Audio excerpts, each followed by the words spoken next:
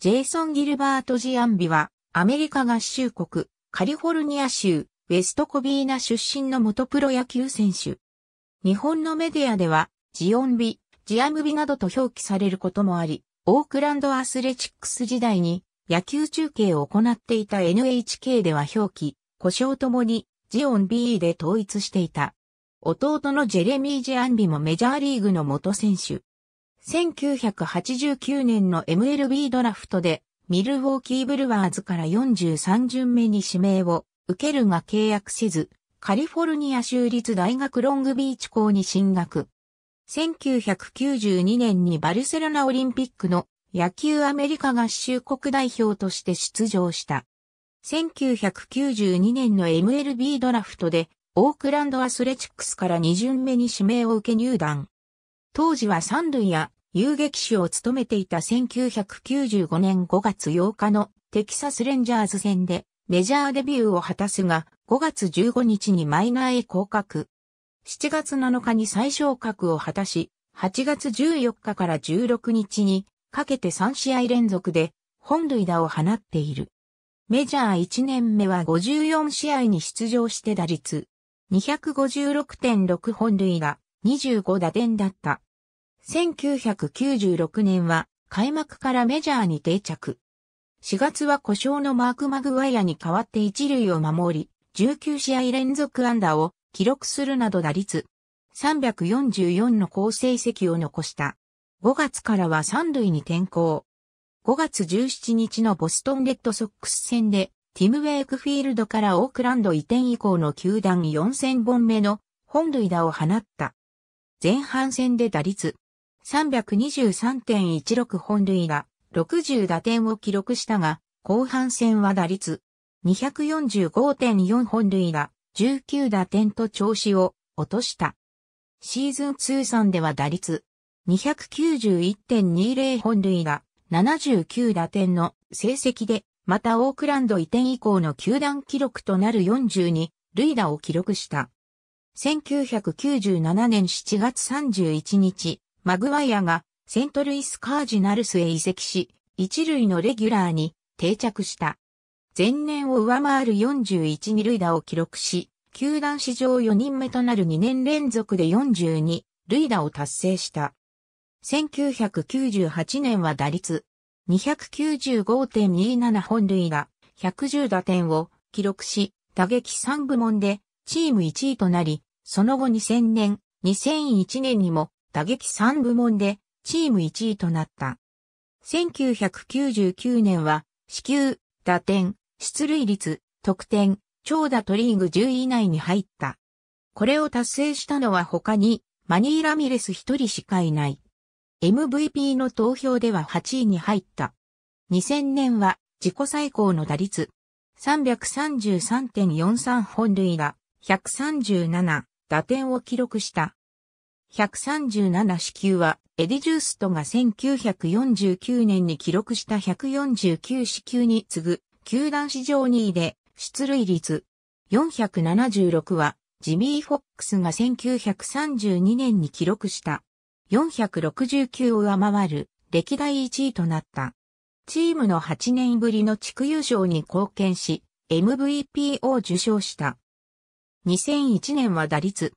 342.38本塁打120打点を記録し、打率は1968年以降の球団史上最高となった。リーグ1位の47二塁打を記録し、チームも2年連続でポストシーズンに進出した。MVP の投票では一郎に次ぐ2位に入った。2001年12月13日、7年総額1億2000万ドルでニューヨークヤンキースへ移籍。1年目の2002年、開幕10試合で打率211と不振に陥っていたが、5月17日に本拠地で迎えたミネソタツインズ戦で逆転サヨナラ満塁本塁打を放つと、徐々に成績を上げ、終わってみれば打率314本塁打はヤンキース1年目の選手としては、ベーブルースの54本塁打に次ぐ41本塁打をマークし、122打点を記録した。シルバースラッガー賞を前年に続き獲得した。2003年、前半戦は好調を維持したものの、オールスターゲームでは膝を負傷し、後半戦は成績が下降。最終的にチーム1位の41本塁打、107打点は記録したが、打率は250とレギュラー定着後初めて平均を下回った。2004年は不振に陥り、シーズン中盤には9年ぶりにマイナーへ降格した。9月14日にメジャーに復帰したが、復帰後も打率121と低迷。ポストシーズンはロースターから外れた。同年オフにはバリー・ボンズの専属トレーナーが運動能力向上薬物を提供していたとされるバルコスキャンダルに関連してジアンビ本人も連邦大陪審で証言しアナボリックステロイドの使用を認めていたことが明らかになった。ヤンキースは契約違反としてジアンビを解雇しようとしたが、法律上不可能だった。薬物の使用歴を明らかにして迎えた2005年シーズンは、前半を打率1割台、本塁打1桁台と低迷したまま折り返したが、後半からは復調。7月にはミッキー・マントルに並ぶ、球団最多の月間14本塁打を記録し、7月31日には通算300本塁打を達成した。最終的に32本の本塁打を放ち、アメリカンリーグの最高出塁率を記録、カムバック賞を受賞した。2006年4月、22試合で打率344、9本塁打、27打点を記録し、月間 MVP に選出された。シーズンでは打率253、37本塁打、最終的に3年ぶりに100打点を上回る113打点を記録し、メジャー史上マーク・マグワイアに次史上二人目となる、アンダが打点以下という珍記録を達成した。2007年5月30日の試合で、本塁打を打った際、走っている最中に、かかとの怪我に見舞われ、2ヶ月以上の DL 入りを余儀なくされた。その結果として83試合の出場数に止まり、打撃成績も打率236、14本塁打、39打点という結果に終わった。2008年5.6月に3割を上回る打率を記録し、地元ニューヨークで開催されたオールスターゲームでは5人の候補の中から32人目の選手を選ぶファン投票でフルスアスレチックスに復帰。5月24日のアリゾナダイヤモンドバックス戦でダンヘイレンから本塁打を放ち通算400本塁打を達成した。7月20日からは、大体4頭筋の損傷で故障者リスト入り。その後は、試合に出場せず、不審を理由に8月7日付で契約解除された。2009年8月23日にコロラドロッキーズとマイナー契約を結んだ。トリプル A 級コロラドスプリングススカイソックスでプレー後9月1日にロッキーズとメジャー契約を結んだ。ロッキーズでは19試合に出場し、日本塁打11打点、打率292だった。オフの11月5日に FA となった。2010年1月23日にロッキーズと1年契約に合意。87試合に出場し、6本塁打35打点に盗塁、打率244だった。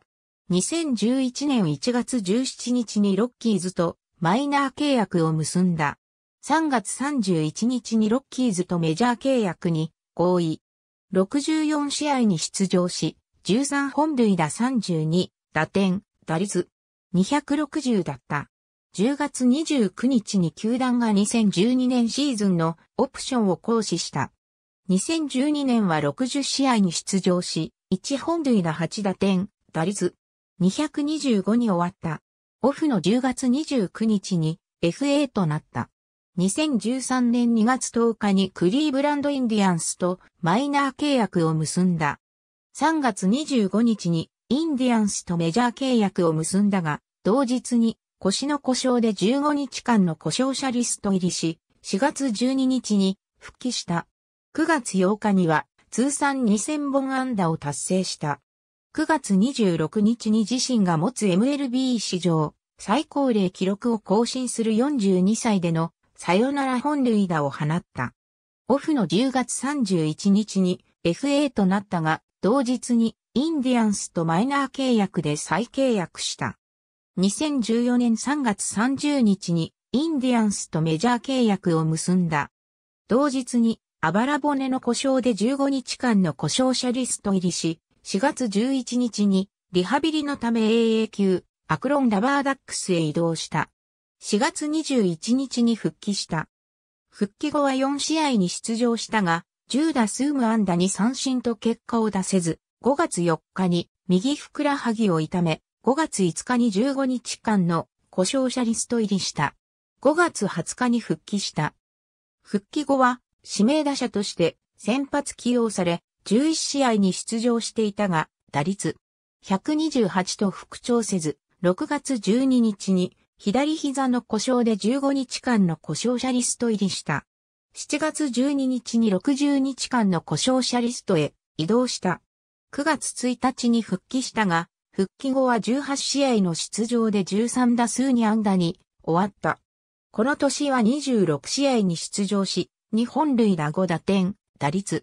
133だった。オフの10月30日に FA となった。2015年2月16日、現役引退を表明した。2004年12月、2003年12月11日の連邦大陪審において2001年から薬物の使用を始め、2002年秋の日米野球で日本を訪れた際にバリー・ボンズの専属トレーナーであるグレッグ・アンダーソンと知り合い、帰国後に同被告から渡された薬物を2003年まで使用していたと証言していたことが明らかになった。2005年2月10日にヤンキースタジアムで記者会見を行い、ファンに向けて謝罪した。